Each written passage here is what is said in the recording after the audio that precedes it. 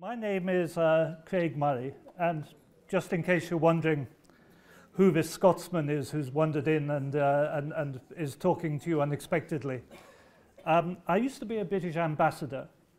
Um, in 2003, I resigned because while I was ambassador in Uzbekistan, I came across the torture and extraordinary rendition program of the CIA. So I resigned and blew the whistle uh, on that program and gave evidence to the Council of Europe inquiry led by the Swiss Senator Dick Marty, who recently passed away. Um, I then, uh, having freed myself from the shackles of being a government employee, which I'd been for more than 20 years, um, I worked with other whistleblowers and became a, a close colleague and collaborator of WikiLeaks and Julian Assange.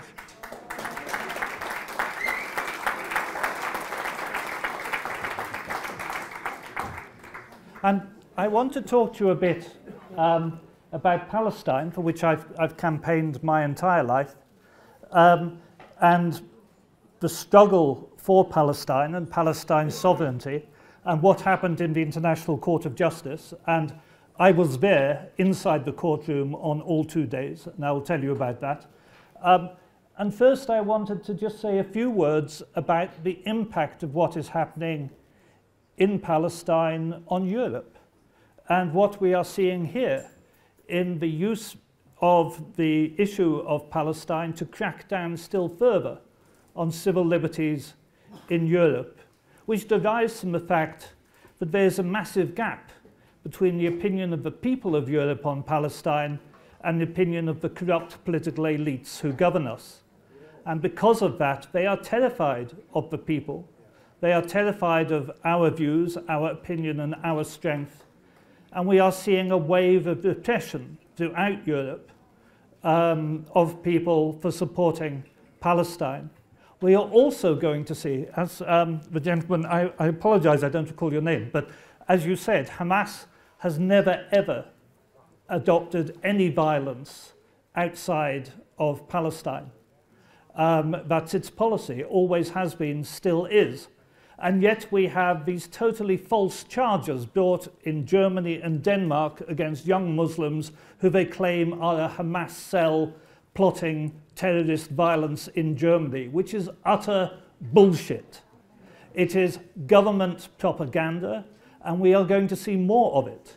We are going to see agent provocateur operations. We are quite possibly going to see false flag operations. We are going to see claims by governments of Palestinian violence against Europe in order for them to try to shore up the public support which is running away from the Zionist narrative. That is something I'm sure we will see. Now, I want to talk about uh, what's happening to people over a dozen friends of mine in the UK have been arrested under terrorism charges for their support for Palestine.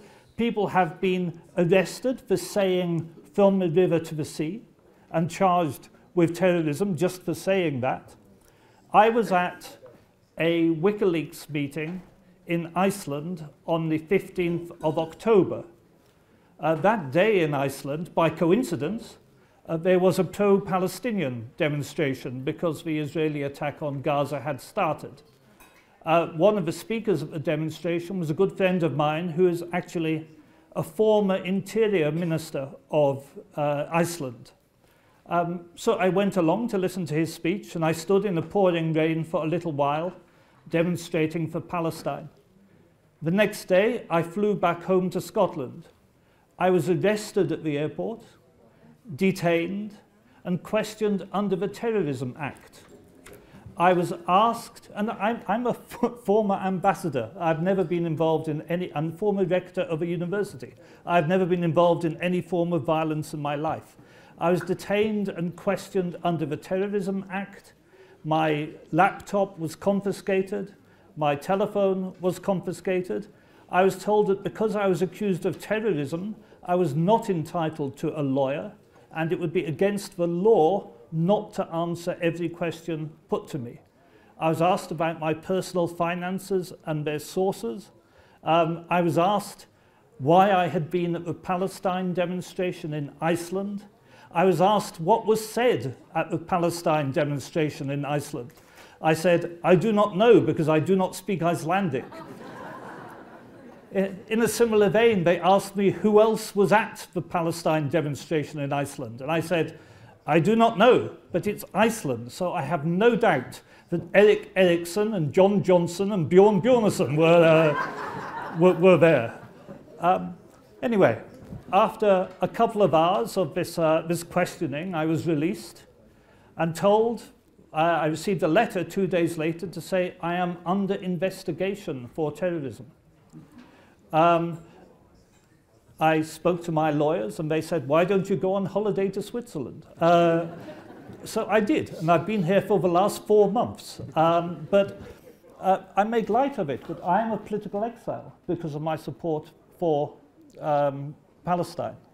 Friends of mine are in jail because of their support for Palestine, awaiting trial. This is the use of the Palestinian issue to crack down on dissidents in Europe. And as I say, we are going to see more of it. So be ready. Now, I want to talk now about the International Court of Justice. Um, I had written a couple of articles in uh, November and October arguing that a state must invoke the Genocide Act because this is the way we can get action internationally. The International Criminal Court is a Western tool. It will never do anything. It's extremely corrupt, and its chief prosecutor, Karim Khan, is more than extremely corrupt. He's one of the most corrupt men going. Uh, so we will never see anything from the International Criminal Court. It's a complete waste of time. Historically, the International Court of Justice has not been so corrupt, has been a little more open, and I was a little more hopeful we will see something from that. Um, I was engaged with others in a lobbying campaign uh, to get states to try to take the action South Africa has taken. Uh, I don't claim uh, that uh, you know, I personally was responsible for South Africa taking the action, but I was certainly part of a movement that put the idea forward to the South African government. So I decided I should be there. And I, uh, I as I can't go home to Scotland anyway, I have to be somewhere. Uh, uh, so I arrived at The Hague uh, for the trial. Uh, in the public gallery, there are only 14 seats available at the International Court of Justice, 14 seats. Um, so I got a hotel as close to the court as I could. And at 10 o'clock in the evening, I went to see if there was a queue yet. Because I, I went to see them the day before. They said, you have to be here at 6.30 in the morning. That's when we give out the tickets for the public gallery. And I said, if I come at 6.30, will that be okay? And they said, there may be a queue. So at 10 o'clock in the evening, I went to check the gate, and there was no queue. I went back at 11, and there was no queue. I went back at 12, and there was no queue. I went back at 1 in the morning, and there was no queue. At 2 in the morning, I went back, and there was a queue of eight people already for 14 seats. So I thought, bloody hell, I've got to stay here now. so I started queuing at 2 a.m and it was minus seven degrees that day in The Hague. I stood there in minus seven degrees for four and a half hours uh, in the queue with other people, and I should say all the people in the queue had come along uh, to support Palestine. But I, I got into the court. Once I got in, they said we were allowed to take in a notebook, but we were not allowed to take in a pen or a pencil. And I said, why can't we take in a pen or a pencil? And they said, you could use it as an offensive weapon. Uh, um, you know, I, I actually felt uh, quite proud that at my age I looked so dangerous I could kill somebody with a pencil. But um, anyway, so I arrived without a pencil. Um, despite that, I managed to uh, take some notes and produce a written report of the proceedings. And I would like to tell you something about being there because, and I should say, I did this two nights running. So I was in the court both for the South African uh, case and for the Israeli defense. And it felt like a historic moment. It really did. It felt like you were there as something profound was happening. And that's partly because of the South African case, which was so powerful.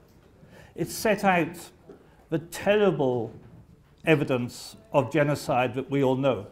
And it was beautifully done because they did it in words and in legal argument.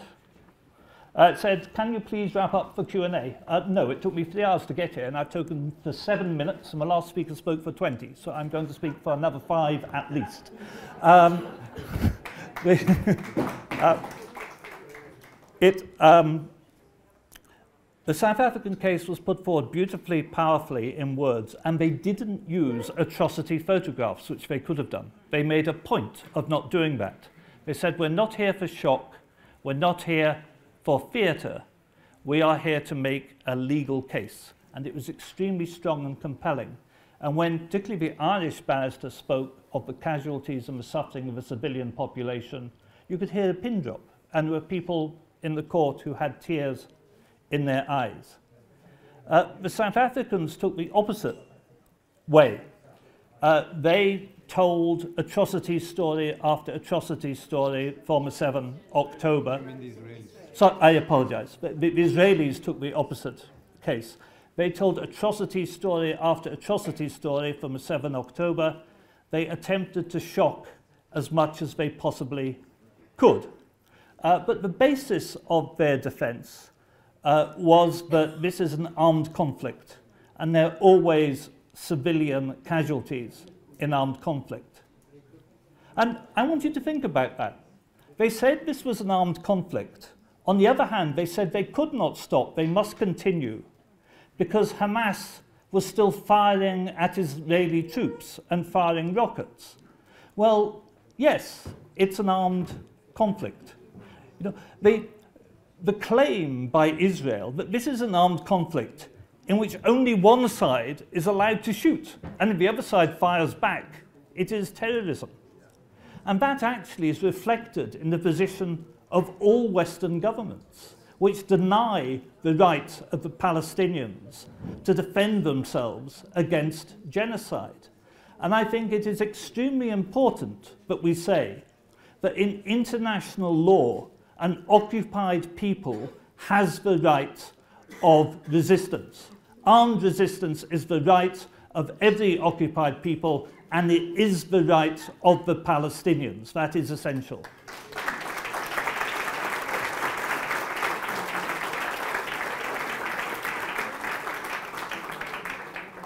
the notion that all military action by Palestinians uh, is terrorism.